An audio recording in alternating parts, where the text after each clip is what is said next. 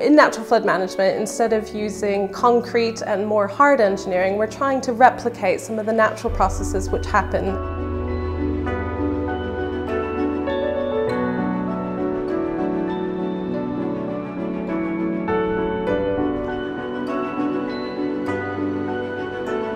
Some of the interventions are very, very simple.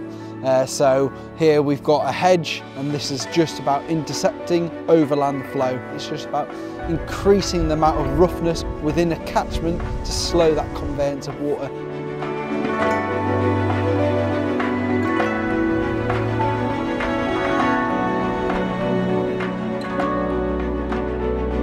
So what we're trying to do with ICASP in the region is develop a really resilient environment that supports a vibrant economy and that actually uh, improves people's lives. We're trying to get um, uh, this fast flowing system with all of these kind of steep catchments that come into then the, the urban areas like York and Leeds and Sheffield and so on, hold that water back